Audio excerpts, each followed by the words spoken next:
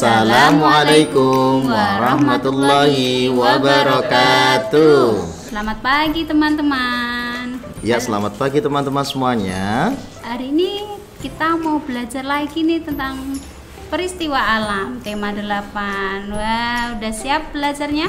Ya, sebelumnya Bu Jana, ini perkenalan dulu ya kita hari ini. Pembelajaran kita hari ini yaitu bersama Bu Jana dengan Pak Gus. Iya.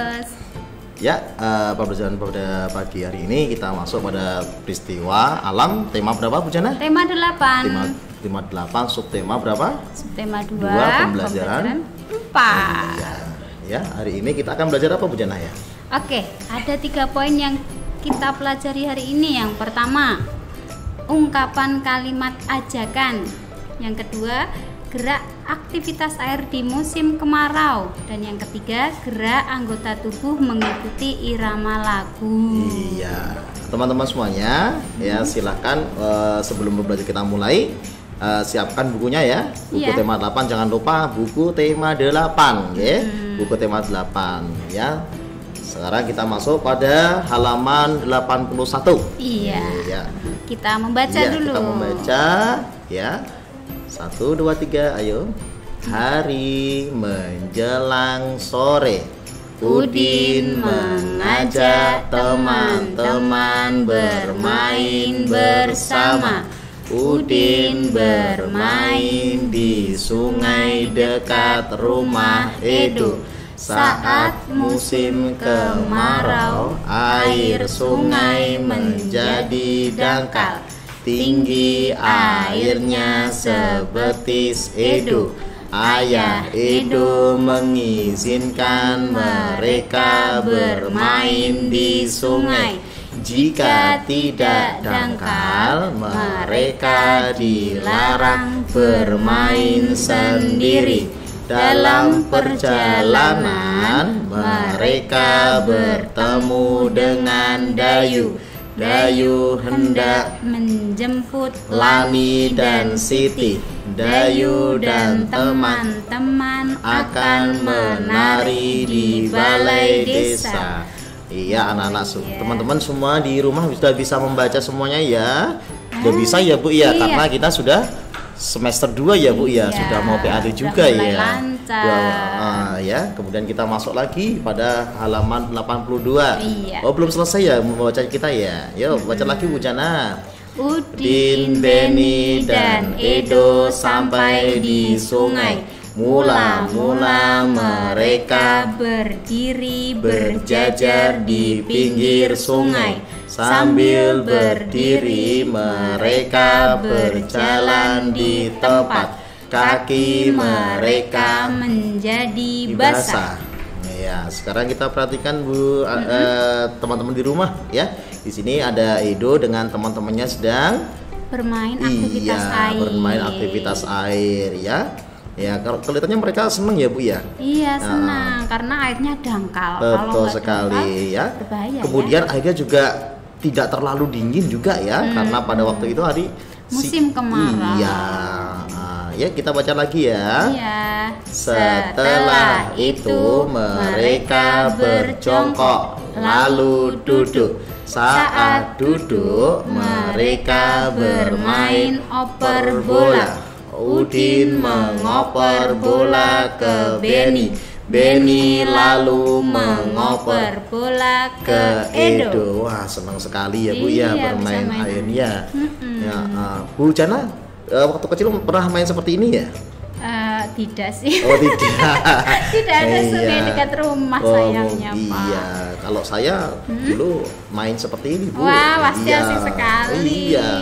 Ya, eh, di kampung ya, di kampung sering bermain kayak gini ya. Hmm, Mungkin anak-anak yang rumahnya di tidak di perkotaan, mungkin jadi daerah-daerah tertentu, mungkin ya di Bisa. pinggiran itu bisa ya eh, bermain seperti ini ya. Itu sangat mengasihkan ya bu ya. iya, sangat Iya. mengasihkan sekali. Ah, ah. Ya, kita lanjutkan lagi untuk membacanya ya bu ya. Oke. Udin dan teman-teman sangat senang beraktivitas air. Aktivitas air apa yang kamu sukai? Kalau Bu Jana kira-kira aktivitas apa ya Bu Jana yang Jana disukai? suka renang Oh bisa renang, Ah, alhamdulillah ya. aja. Kalau teman-teman di rumah bisa renang ya? Ah, tentunya bisa ya Bu Iya, ya. Ya, yang ini bisa, ada yang enggak. iya ada yang bisa yang- nanti lama-lama iya, bisa betul Pak. sekali ya. Yuk kita masuk pada halaman Halaman. selanjutnya ya. Eh Bu Jana kita baca lagi. Ayo membaca. Iya. Yuk. Aktivitas air Udin dan teman-teman telah selesai. Mereka duduk di pinggir sungai. Mereka duduk sambil merasakan sejuknya angin pada sore hari. Mereka menikmati cerahnya cuaca pada musim kemarau. Mereka pun bercakap-cakap.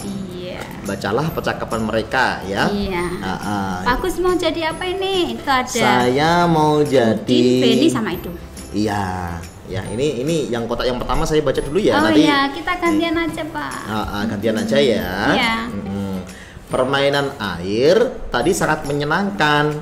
Terima kasih Udin sudah mengajak kami bermain bersama. Ayo Bu Jana. Betul, sangat asik bermain air. Kamu hebat Udin, jalanmu sangat cepat sehingga menang lomba. Ayo kita bermain bersama lagi. Terima kasih kembali Benny. Terima kasih sudah memujiku. Edu, ayo besok kita bermain bola. Iya anak-anak, eh, teman-teman yang di rumah kalau misalkan bermain jangan lupa apa bu? Tahu waktu ya bu? Iya, Iya. nggak boleh misalkan bermain ya wak- sudah sudah waktunya azan anak eh, teman-teman di rumah masih tetap bermain ya. Iya. Ya tetap harus Ingat waktu. ingat waktu harus sholat ya bu ya. Iya, Iya, kita masuk pada halaman selanjutnya, Bu. iya. Yo, ayo menulis. Iya, kita mau belajar menulis. Teman-teman siapkan pensilnya. Ya, kita baca dulu. Nanti kita mau menulis. Mm-mm. Ya, kita baca ya, Bu. Ya. Cuaca pada musim kemarau sangat cerah. Ajak temanmu bermain bersama. Menikmati cerahnya musim kemarau bersama temanmu. Amati gambar, tulis kalimat ajakannya. Ya, anak-anak disuruh di sini disuruh mengamati gambar, kemudian anak-anak disuruh apa, Bu? Menulis kalimat iya, betul ajakan. sekali. Menulis kalimat ajakan. Tentunya sudah bisa ya teman-teman yang di rumah ya. Masih ingat nggak ya Mm-mm. kalimat ajakan? Mm-mm. Kalimat ajakan itu pasti diawali dengan kata apa, Pak? Mm-mm. Biasanya Dengan ada kata? kata ayo Atau atau Ma- mari. mari. Nah, yuk juga bisa ya Bu Iya, ya. Kadang kadang-kadang eh, kita menemui ya kalimat ada kata yuk. Nah, seperti itu. Ini juga yuk.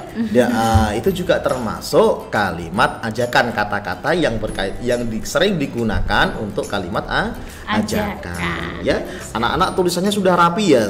Ya, kalau sudah rapi anak-anak silakan nanti ya Menulis. iya menulis kalimat ajakannya sesuai pada gambar ya bu ya Mm-mm. contoh ini ya bu ya ini Iya, contoh ya contoh. nah di sini ada siapa bu ini ya Edo dan Udin. iya Edo dan Udin yang pakai kacamata ini namanya Udin. Udin ini yang pakai baju kuning namanya Edo contohnya kalimat ajakannya bagaimana bu Ayo Yuk. kita bermain air, Edo. Iya, ayo kita bermain e air Edo sesuai dengan gambarnya ini. Mm-mm. Iya, Nomor kemudian dua. untuk nomor dua, anak-anak bagaimana ini? Ini sedang bermain apa ya? Iya. Ada yang sembunyi, ada yang Hmm. tutup mata, berarti bermain Apa bu? Kira-kira peta? Peta Peta umpet umpet. ya, anak. Teman-teman buat kalimat Mm-mm. ajakannya di baris Iya, itu ya. iya.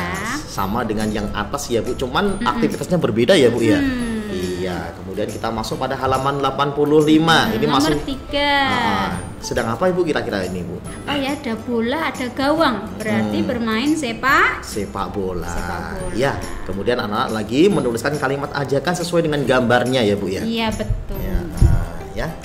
Ya, kemudian setelah selanjutnya, ayo menari. Menari. Ya, kita, baca dulu. Sore hari pada musim kemarau udara sangat cerah. Dayu menjemput Lani dan Siti. Dayu mengajak Lani dan Siti ke balai desa. mereka akan menari bersama semua teman. Ya, ya di sini anak-anak uh, sore hari ya pada musim kemarau udaranya bagaimana bu ya? Iya hangat ya pak. Iya tentunya sangat cerah ya bu ya udara Iya. suasananya sangat cerah ya kemudian Dayu menjemput Lani dan Siti untuk apa bu? Untuk mengajak menari. Iya tentunya di mana bu? Di balai, desa. desa. Oke kita masuk halaman 86 dibaca lagi ya judulnya Iya. apa bu? Ayo, Ayo yuk kita baca bersama. Mari menari tirukan gerakan burung. Menari mengikuti irama lagu. Rentangkan tanganmu bagaikan sayap burung. Ayunkan ke atas dan ke bawah. Berputarlah berkeliling seperti lingkaran Gelengkan kepala lalu anggukkan seperti burung yang mencari makan. Iya, anak-anak eh, ini ada nama siapa bu? Ada Ada Lani, Lani, ada kemudian ada Siti. Siti, ada Edo. Itu sedang melakukan gerakan apa kira-kira? Menari. Iya, menari, menirukan gerakan burung. burung yang sedang terbang tentunya ya bu ya. Iya, karena tangannya di samping kanan Betul dan sekali. kiri. Nah, anak-anak bisa mempraktekkannya di rumah. Tentunya bersama siapa ibu? Orang tua, Bersama orang tua. keluarga, Iya. kakak adik. atau mungkin bisa temennya ya temen yang tetangga itu ya tetangga karena hari ini mungkin hari liburan ya liburan anak-anak bisa bermain bersama nggak usah ke mana-mana yang penting di rumah jaga tetap di, ru- Di rumah ya bu iya di rumah saja ya nah untuk kegiatan selanjutnya yaitu kegiatan bersama dengan orang Orang tua. orang tua orang tua membimbing siswa untuk bermain pada sore hari bersama teman ya Iya. itu tadi ya Bu ya Bu Jana ya. Iya. Tadi eh, kita sudah belajar apa ya Bu untuk kesempatan hari ini? Iya, tadi kita sudah belajar kalimat ajakan. Kemudian yang kedua, Sudah belajar aktivitas air. iya di musim kemarau ya Bu ya. Kemudian Dan kita juga sudah tadi menari mengikuti gerakan anggota irama lah lagu. lagu ya.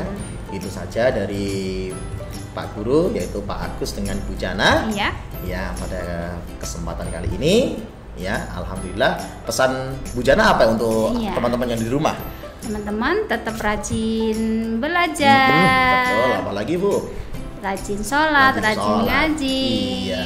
menuruti perintah orang tua iya, ya. betul sekali. Jangan lupa tugas-tugas yang diberi sudah diberikan Bapak Ibu guru harus segera dikerjakan. Ya, nggak boleh rewel. Gamenya dikurangi ya Bu ya. Oh, iya. Main HP-nya itu anak eh, teman-teman kalau di rumah kalau mesti seperti ini sering sekali main HP. Oh, ya toh? dikurangi ya, teman-teman, Dikurangi, ya. Ya, itu saja dari kami yaitu Pak Agus sama Bu Jana. Sekian ya. Iya. Wassalamualaikum warahmatullahi wabarakatuh.